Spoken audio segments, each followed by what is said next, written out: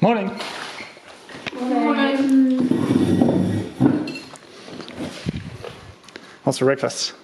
Toast. Eggs. I I had had three things for breakfast. cereal without milk. Brown had three courses. We ran out of milk. Three courses.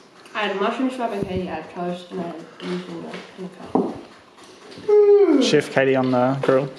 On the what? On the grill. It's not really a grill, but Like me physically grill? on the grill, like cooking meat to eat. Mm. How are we feeling? Hmm. Yeah. Pretty good. Pretty Gucci. Fresh. Not too bad. How's the ankle?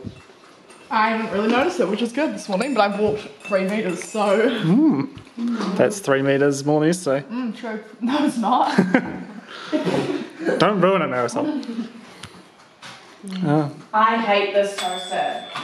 What do you mean? It's sick. It's also a heater. I like it. no. It's the worst invention in the world. Give me a tray out.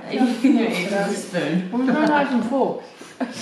You're gonna wash some up. It's this thing called a brush and soap and hot water. That's because you told us you had a dishwasher tablets. We didn't. The dishwasher and then you didn't. Yeah, dude, it's on the floor. We don't have soap. Otherwise, you would have washed them up. You, just, you can also unload them from the dishwasher. Nice. Do I get a close up of this toast? I wrote of Katie eating it. Oh,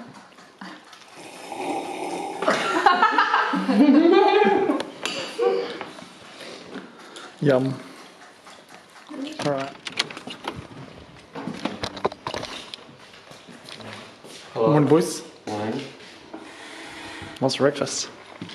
Um, we have some muesli and some cornflakes. Some Misley. How good. It's a And some. Quaker. It's notes, mate. Bloody oats. Can't go porridge. Very nice.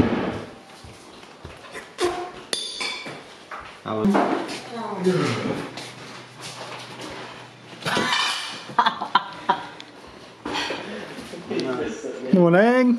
Morning. How are you feeling? I'm good. Good. Yeah. What time do you call this? It's uh, 9.25. 9.25. Yeah. It's late enough. Have, having a little spoon with Curtis.